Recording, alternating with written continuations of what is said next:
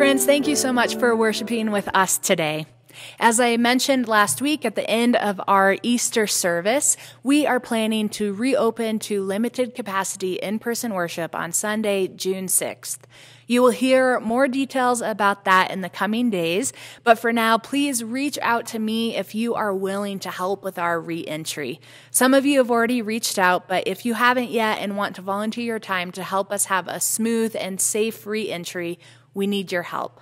Contact me at angiek at avumc.org. Thank you so much. Friends, hear now this benediction as you go. Go now knowing that we are called to live together in community, investing our time in unity, not uniformity, showing the world how to love and be loved. Go being inspired to invest your time in building meaningful relationships with God and one another. Go in peace, friends. Amen. Bring us home on love's renewing tide to the place of our belonging. Bring